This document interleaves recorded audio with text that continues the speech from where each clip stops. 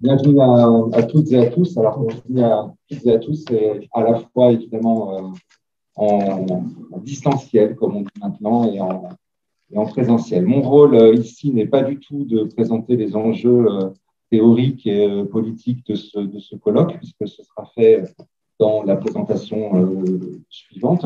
Mon rôle est tout simplement, et du coup je vais l'écourter, rassurez-vous, mon rôle est tout simplement de vous souhaiter la bienvenue et puis, euh, en se disant que les occasions de se réjouir euh, sont plutôt rares en ce moment.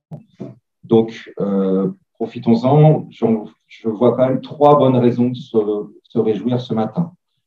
La première, c'est qu'évidemment, nous sommes dans des circonstances très particulières, hein, c'est le moins qu'on puisse dire, que vous connaissez toutes et tous. Hein.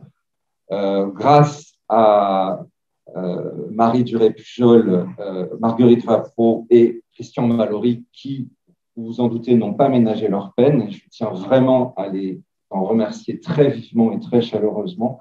Eh bien, grâce à, elle et à lui, nous pouvons donc tenir ce colloque, euh, comme on dit, de manière hybride, vous qui nous écoutez, qui nous suivez euh, depuis l'écran, et puis vous-même qui êtes là, vous voyez, on a gardé nos masques aussi. Hein. on ne peut pas tellement faire autrement, y compris à la tribune. Donc, merci d'être là aussi en présentiel, euh, suffisamment euh, à distance dans, dans cet amphithéâtre. la deuxième raison pour laquelle je pense que malgré tout, nous pouvons nous réjouir ici, c'est que ce colloque est lui-même particulier dans des circonstances particulières. Ce que je veux dire par là, c'est que euh, sans vouloir être trop long sur, sur ce point-là, parce que tout le monde n'est pas nécessairement concerné, mais sachez quand même que nous sommes dans une année de, transition pour nous entre deux équipes de recherche. Alors c'est quand même un point important, c'est-à-dire que nous sommes toujours à l'intérieur euh, de cette grande unité de recherche qui s'appelle CLAR, Culture, Littérature, Art, Représentation, Esthétique, et qu'à compter du 1er janvier 2022, nous devrions euh, devenir une unité euh, de recherche en art autonome sous le nom d'Artes. Alors, l'enjeu a l'air minime dit comme ça. En réalité, l'enjeu est vraiment important pour nous, puisque nous sommes une équipe maintenant qui regroupe une trentaine d'enseignants-chercheurs, une, quarantaine de doctorants, Hein, donc cette équipe, elle a la taille d'une équipe, euh, disons, autonome, et nous déposons justement ce vendredi auprès du ministère euh, le dossier d'autonomisation de ce projet pour Artes au 1er janvier 2022. Donc, il me semble que, de mon point de vue, mais je crois qu'il est partagé, ce colloque ici dans cette année de transition préfigure aussi euh, très bien de ce que seront les autres colloques Artes à part entière à partir de 2022. Ce que j'entends par là, c'est que la programmation euh, de ce colloque est très riche et en même temps, me semble-t-il, très équilibrée, dont notamment Hervé Letellier qui nous fera l'honneur cet après-midi d'être présent. Euh, euh, en termes donc de personnalité extérieure et intérieure, c'est un point très, très équilibré aussi avec la présence des doctorants, des doctorantes, des docteurs, des docteurs, au même niveau, je dirais, que les enseignants-chercheurs confirmés que sont les maîtres de conférences et les professeurs d'université.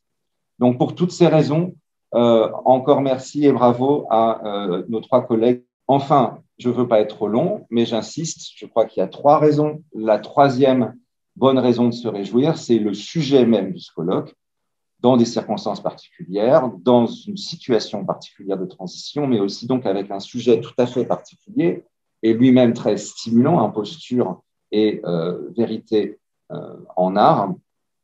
Alors, juste un, un, petit clin d'œil quand même ici justement à une doctorante euh, docteur aujourd'hui euh, qui s'appelle Alice Cazot, qui euh, aurait peut-être proposé quelque chose, mais qui a beaucoup travaillé sur les artistes fictifs.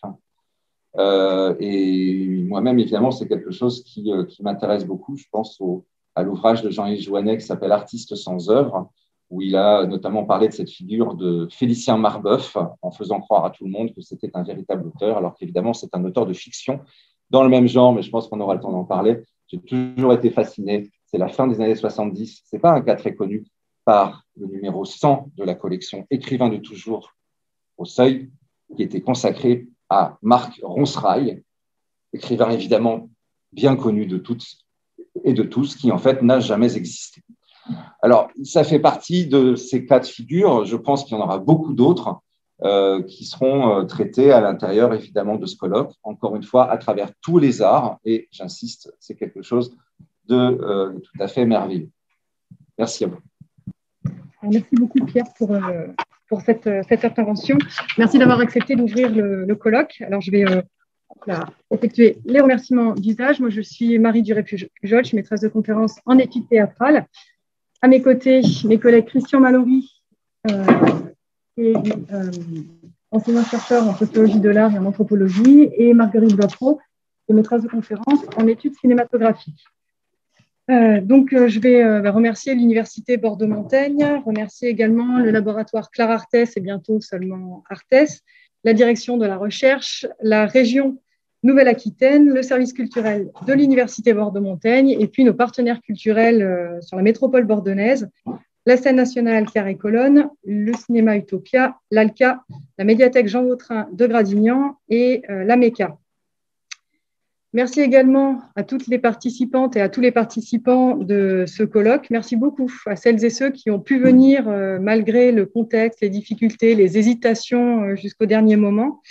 Merci également à toutes celles et ceux qui sont à distance euh, et qui auraient vraiment aimé euh, pouvoir venir, mais euh, traverser les frontières en ce moment est très compliqué, soit parce qu'on ne peut pas le faire, soit parce qu'il y a une obligation d'être en septaine. Et donc, merci vraiment d'être à nous et d'avoir accepté de contribuer par, par visio. Merci enfin aux étudiants et aux étudiantes qui vont nous rejoindre tout au cours de ce colloque, notamment les étudiants en études théâtrales et en études cinématographiques. Je voudrais vraiment commencer par souligner l'importance de se retrouver physiquement à l'université Bordeaux-Montagne aujourd'hui, quand tout est fait pour qu'on reste vraiment isolé, chacun chez soi, avec nos écrans d'ordinateur, avec des annonces du gouvernement et la publication de circulaires qui sont en contradiction avec les décrets, avec des informations contradictoires qui vraiment nous épuisent et nous font entrer mine de rien dans le projet néolibéral d'économie de la connaissance qui se dessine pour l'université depuis plus de 20 ans. Euh, vraiment, tout est fait pour qu'on soit séparés alors qu'on a besoin de se retrouver, euh, puisqu'on défend l'idée que les universités sont des espaces de pensée, des espaces d'éveil au savoir critique, euh, et puisqu'elles sont ouvertes, il relève vraiment de nos missions de les faire vivre dans un moment politique au cours duquel la pensée critique est attaquée frontalement par une partie des professionnels de la politique, par des journalistes, etc., euh, qui remettent en cause nos libertés académiques, notre légitimité d'enseignants-chercheurs, ainsi que les fondements de l'université en tant qu'institution républicaine. Donc vraiment, merci à tous et à toutes euh, d'être venus à l'université aujourd'hui ou de contribuer par, par visio. Ce colloque, il s'inscrit dans le cadre du Festival Théâtre des Images que nous avons créé il y a six ans, qui devait avoir lieu cette semaine et puis les deux prochaines semaines, euh, qui, euh, qui, est malheureusement reporté. Donc, on vise début avril, mais c'est vraiment un gros point d'interrogation, puisque ce sera, ça, va dépendre en fait de l'ouverture des lieux culturels, en particulier des cinémas et des, euh, théâtres. Aujourd'hui, par exemple, nous aurions dû accueillir le collectif Berlin pour une masterclass avec les étudiants et les étudiantes d'études théâtrales. Et puis demain, ils devaient euh, intervenir pour une table ronde euh, sur le thème de l'imposture, puisque c'est le thème du colloque, mais c'est aussi le thème du festival cette année, en lien avec leur spectacle True Copy, dans lesquels ils mettent en jeu Gert Janssen, qui est un faussaire, qui copie des œuvres de maître, mais pour lui, il n'est pas un faussaire. Donc, il y a toute une réflexion autour de ce que c'est qu'un faux, ce que c'est qu'un vrai. Euh, et ce que fait le collectif Berlin, c'est que non seulement il raconte l'histoire de ce faussaire, mais en plus, c'est lui-même qui est mis en jeu. C'est lui qui est au plateau et qui, et qui raconte. La création de ce festival des arts et de la pensée, elle poursuit plusieurs enjeux depuis euh, sa création. Donc, euh, en 2016, on s'est vraiment appliqué euh, à mettre en place ces principes pour ce, pour ce colloque. Premier principe, c'est de lier la recherche et les pratiques. C'est ainsi qu'on retrouve des artistes et des chercheurs et chercheuses aujourd'hui. Nous sommes également dans une démarche d'interdisciplinarité on aura des interventions hein, d'études théâtrales, d'études cinématographiques, de droit, d'histoire de l'art, de littérature, qui se succéderont durant ces deux jours, et puis d'art plastique également. Notre enjeu, c'est de euh, faire se relier l'université et les différents lieux culturels de la métropole et enfin de permettre aux étudiants et étudiantes de rencontrer les publics des différents lieux culturels. Donc là, en l'occurrence, aujourd'hui, ça, euh, ça, leur permettra de, rencontrer le monde de la recherche puisque pour certains, euh, c'est leur premier colloque aujourd'hui et, et, demain. Alors pourquoi est-ce qu'on a choisi ce thème-là? Pourquoi faire un axe de recherche autour de l'imposture? Euh, le point de départ de nos réflexions, euh, il est lié au fait qu'on vit dans une société qui fabrique des imposteurs. Roland Gori en reparlera euh, tout à l'heure. une société qui laisse toute la place au mensonge, à la falsification et aux fake news. Et une société dans laquelle les conflits de vérité, qu'il est sain de rencontrer dans une démocratie, deviennent vraiment difficiles à appréhender à l'appui d'une pensée rationnelle, tant le faux, le plagiat, le leurre, la fraude, l'usurpation sont aujourd'hui valorisés par celles et ceux qui occupent des positions dominantes. Christian euh, va y revenir. Donc le sujet, il est euh, vaste et on vérifie aujourd'hui qu'il intéresse beaucoup d'enseignants, euh, chercheurs et puis des artistes. Et nous, bah, vu nos domaines de spécialité, nous avons choisi de nous concentrer sur les arts pour essayer de discerner ensemble comment est-ce que ces notions, imposture et vérité, travaillent les arts et les pratiques des artistes, comment est-ce que les artistes compose avec la société de l'imposture. Également, comment est-ce qu'on expose, comment est-ce qu'on met en question euh, l'imposture sans devenir soi-même un imposteur. Donc, à travers tous ces questionnements, c'est aussi la question du geste artistique contemporain qui, euh, qui nous intéresse. Euh, comment est-ce que ces artistes affirment en même temps le vrai, le faux, tout en rendant visible à chaque fois l'espace fictionnel dans lequel leurs gestes se déploient dans tous les arts pour remettre en question le statut contemporain de la, de la vérité. Merci Marie. Euh, donc, bien fixer euh, ce cadre euh, dans lequel nous, travaillons aujourd'hui, je, rappelle que c'est l'acte 2 d'un colloque que nous avons déjà organisé, enfin, l'acte 2 d'un colloque sur ce même thème que nous avons organisé l'an passé autour et avec autour de Michel Foucault avec la collaboration du Centre Michel Foucault et sur la question euh, peut-être de la vérité et des jeux de vérité. Cette question, elle, est en rapport avec les, travaux de, de, Michel Foucault. Je ne vais pas m'étendre parce qu'on a peu de temps sur l'idée que euh, la question du savoir, c'est aussi la question du pouvoir et c'est aussi la question de l'éthique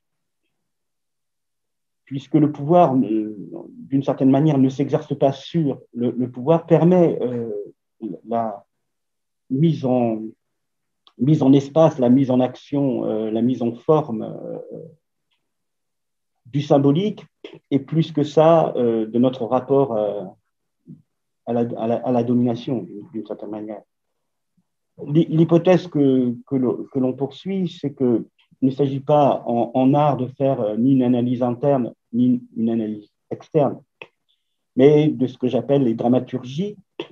En, fait, en art, nous, ne sortons jamais de, la vie ordinaire, et la vie fictionnelle, euh, comme diraient certains, euh, est aussi une expérience.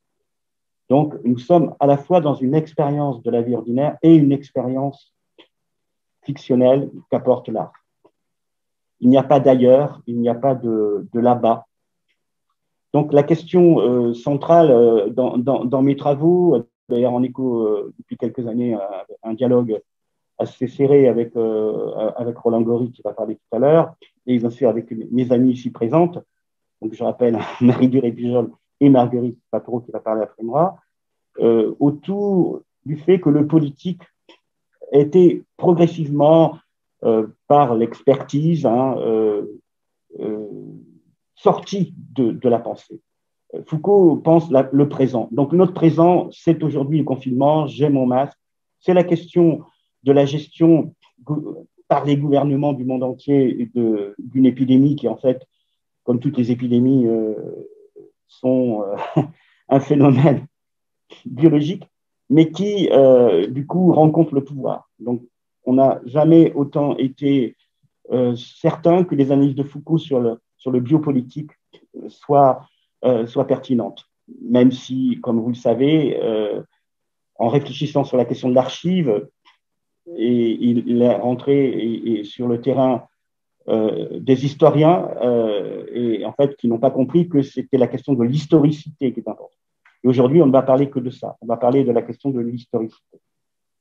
L'hypothèse que je fais, et je pense qu'elle est partagée euh, par Roland, c'est que nous sommes passés de la société du spectacle qui s'installe, pensée d'abord, on va dire, à, partir des expositions universelles par Walter Benjamin, puis très important évidemment avec ce concept de situation, euh, esquissé par Sartre et, développé par, Debord. Nous sommes rentrés donc dans une société euh, où euh, euh le présent est occupé hein, par le spectacle, ce que Walter Benjamin appelle euh, le fantasmagorie, hein, pour compléter le, concept un peu plus de façon sensible de, Marx du fétichisme de la marchandise. C'est une exposition. Hein. Il y a une valeur d'exposition qui est de plus en plus là, euh, j'essaie de développer euh, dans l'ordinaire des images, et qui euh, euh nous amène euh, à changer non seulement la, manière de, construire de la discursivité, comme dirait Foucault, mais aussi nos modes d'existence, notre rapport à nous-mêmes, à notre corps, à l'espace, au lieu, à, l'interaction. Et euh, cette façon spectaculaire de construire ce rapport qui a été euh, donc faussé par la publicité, par, faussé, je sais même pas, trafiqué, je dirais, par, la publicité, euh, finalement fait que la valence du signe représentation euh, qui fait agir a suscité d'une certaine manière des, comportements contraints. Alors pas aliénés, je me méfie de, ce mot, mais au moins, au contraints. Euh, en l'occurrence, euh, comment euh, passer alors une manière de, construire son mode d'existence euh, en cohérence avec soi, pas en exil avec soi, hein, pas perdu dans les écrans, comme, comme je dirais. Eh bien, ça ne suffisait pas. Donc, ça, on va dire, c'est une période qui, se construit dans l'entre-deux-guerres, enfin, fondée au 19e, qui se construit dans, l'entre-deux-guerres avec le triomphe de la société de, consommation. Je renvoie aussi au très beau livre de Jean Baudrillard, euh, Société de consommation. Donc, euh, euh, d'une certaine manière, nous sommes passés de, l'éthique de la production, hein, si on renvoie à Max Weber, à une éthique de la consommation où la responsabilité de l'acte, il est du côté du consommateur. On est culpabilisé parce qu'on n'est pas écologiste, parce qu'on n'est pas, on n'a pas un souci d'environnement, hein, donc il faut avoir tout un tas de, de rapport aux matériaux. Je dirais d'ailleurs que sur cette question de, de l'art, je travaille autour de, ce que j'appelle des supports espaces dramatiques euh, de dénonciation de visibilité. Euh, c'est peut-être un peu plus concret que, ce que dit Foucault sur les dispositifs. En tous les cas, il y a une matérialité. Nous sommes entrés non pas dans une société de c'est dans la représentation, mais dans une société de la simulation, où ce qui nous est montré, euh, c'est pas euh, simplement la reproductibilité. Hein, euh, on a d'ailleurs trop confondu, qui est un concept chez Walter Benjamin, qui est un concept historique, qui n'est pas la question de la reproduction mécanique du tout. Même si le, le jeu des signes, évidemment, se fait euh, avec la, production de support espace, dans la mesure où ces supports espace de l'inscription, hein, qui était euh, euh, la peinture, le dessin, puis même la gravure d'une certaine manière. On, on, avait une, façon de copier aussi très importante, mais on est passé de, la copie à la gravure. Différents types de, de, gravures. Nous, avons, avec l'invention de la photographie, qui n'est pas simplement de la technique, c'est un dispositif de rapport au signe, puisque avec la photographie, il y a de la trace, et c'est déjà reproductible. Euh, hein, c'est déjà reproductible. Donc, la question de l'original est, évacuée, on va dire, parce que c'est déjà du reproductible, même si c'est limité.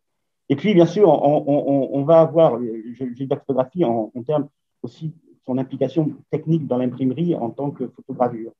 Et puis, nous sommes passés donc à l'ère du numérique. L'ère du numérique, c'est l'ère de, l'image calculée. Ce n'est pas forcément l'image virtuelle, parce que toute image a une, virtualité, qui attend une actualité.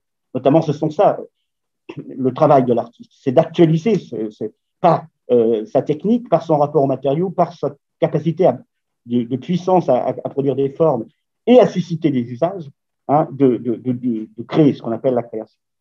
Donc, le néolibéralisme dans lequel on est, et j'en terminerai là, euh, qui est censé représenter plus que la modernité, on va dire l'hypermodernité, nous conduit en fait à un rapport où on ne sait plus ce qui est vrai, ce qui est faux. Hein. Autant ce trafic du vrai et du faux euh, dans l'ère de la représentation suscitait une critique possible. Hein.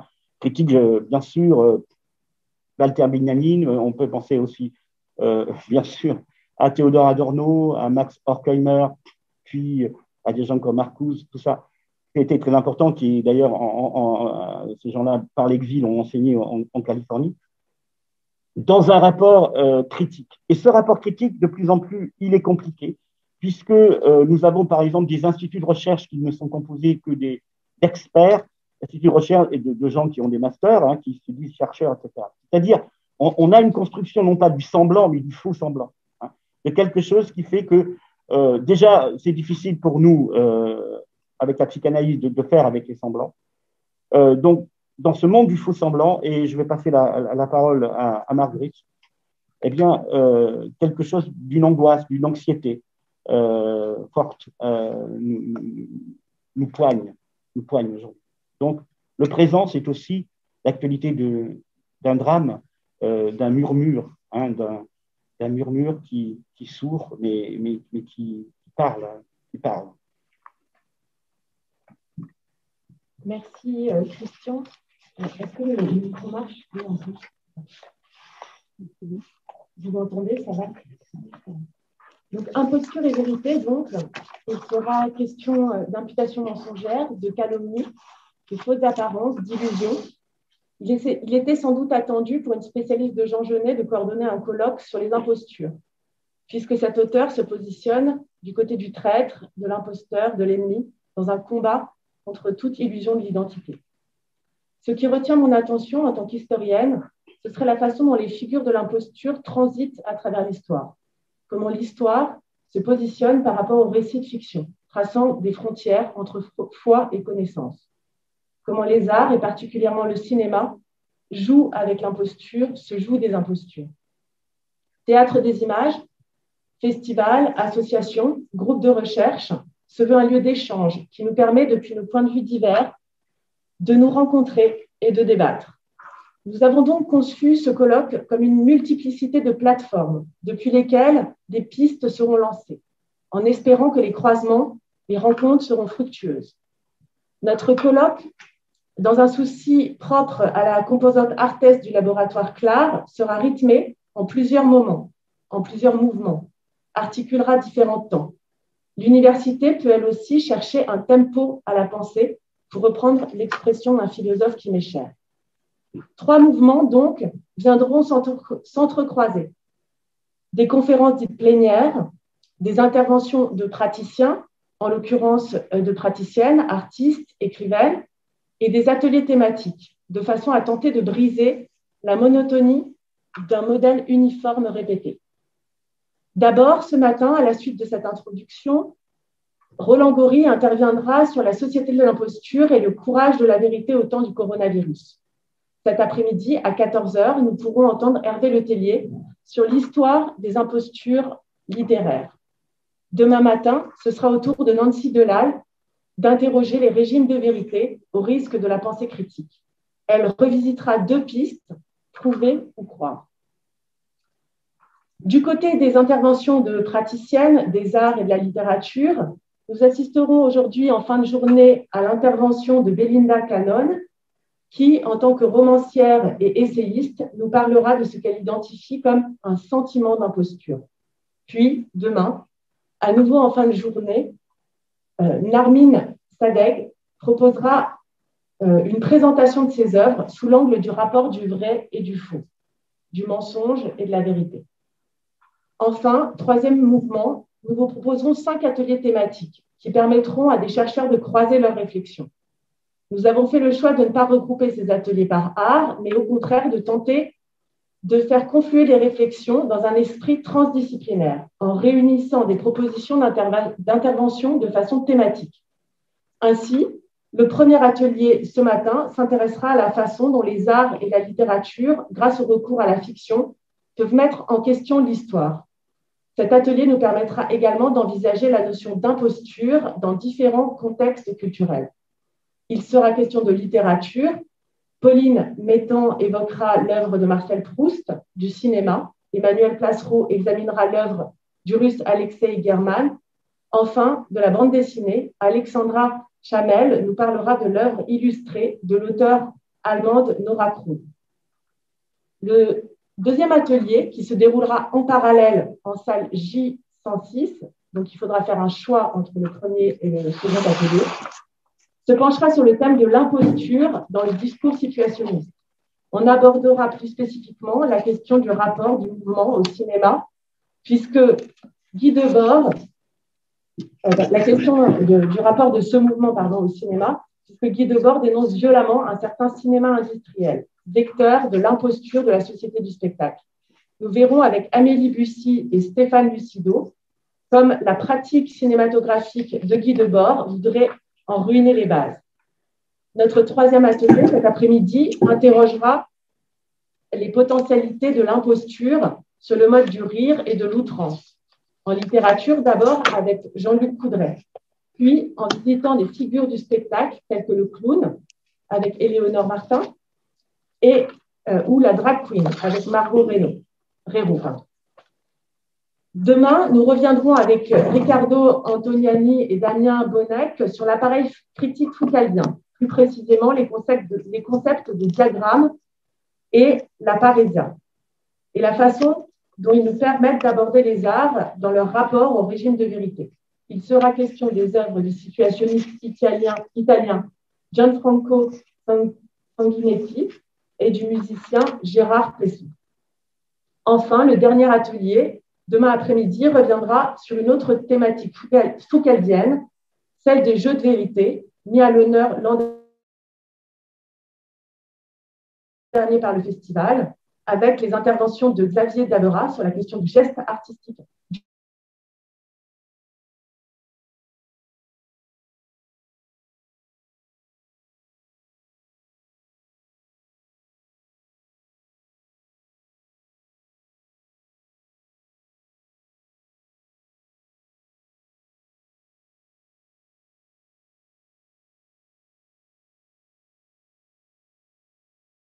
de Grusson dû à notre appel à l'université euh, et la dimension corporelle de la pensée. Nous avons besoin de l'autre, des autres, des étudiants pour penser, avoir des idées, comme dirait Deleuze. Nous avons besoin de nous déplacer dans la ville, entre les villes. La pensée a besoin éminemment des bibliothèques, personnelles ou institutionnelles, lieux de travail, mais aussi du mouvement. Nous ne pouvons rester prisonniers de nos bureaux et de nos domiciles. Euh, nous sommes aussi présents donc sur Zoom, de façon à ce que tous ceux qui ont pu rejoindre Bordeaux et Pessac puissent également nous écouter. Et donc, il me reste à vous souhaiter à tous un très bon colloque.